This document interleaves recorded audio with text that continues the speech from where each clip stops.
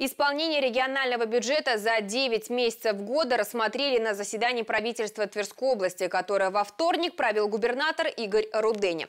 Мы последовательно решаем задачи по увеличению доходов. Зафиксирован рост поступлений по всем основным видам налогов, отметил глава региона.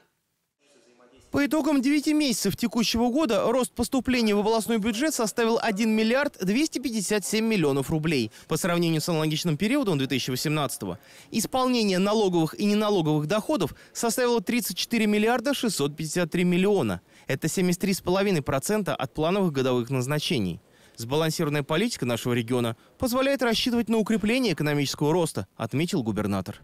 По доходной части нам очень сильно помогает Российская Федерация, а, Федеральная налоговая служба. Мы э, без увеличения налоговой нагрузки на наших э, граждан, на э, деловые структуры, на хозяйственные субъекты. Мы сегодня формируем достаточно устойчивый бюджет путем повышения собираемости налогов, которые сегодня положены по закону. С начала 2019-го доходная часть исполнена в сумме 44 миллиарда 723 миллиона рублей. Это составляет 68% от годового плана. Расходная – почти 40,5 миллиардов, то есть 58% от плана. Средства направляются в первую очередь на здравоохранение, соцзащиту, на поддержку материнства и детства, предпринимательства, дорожное строительство, сельское хозяйство, сферу ЖКХ.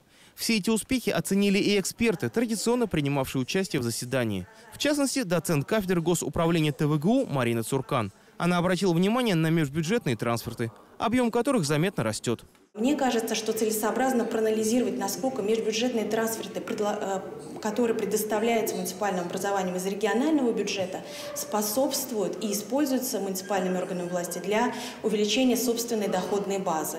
Также среди главных расходов областного бюджета – поддержка муниципальных образований и государственный долг региона. За 9 месяцев текущего года расходы на его обслуживание сократились более чем в три раза – Губернатор также сделал акцент на значимости использования средств, выделенных на реализацию национальных проектов, инициированных президентом России Владимиром Путиным. Минэкономразвития и Министерство финансов должны мониторить ситуацию. Все должно быть сделано вовремя и качественно, подчеркнул Игорь Руденя. Работа идет в плановом режиме. Мы видим достаточно хорошее устойчивое кассовое исполнение.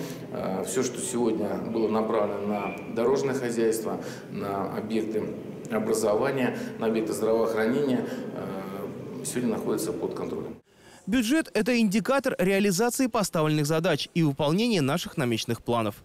Выводы по текущей ситуации необходимо будет учесть при исполнении бюджета на 2020 год, отметил губернатор Игорь Руденя, завершая разговор на эту тему.